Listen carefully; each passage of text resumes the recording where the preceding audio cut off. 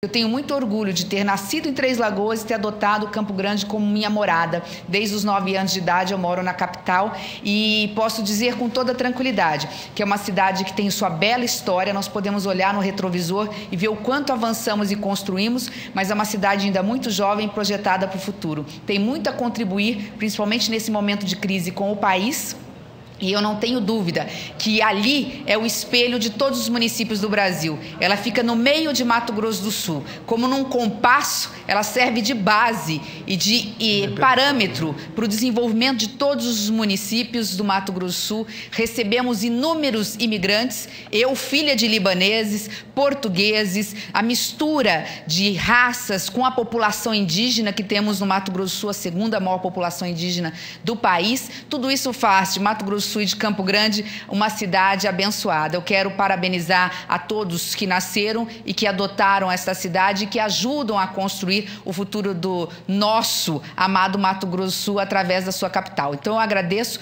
protocolando a moção de louvor e pedindo apoio dos nossos pares para a aprovação, senhor presidente.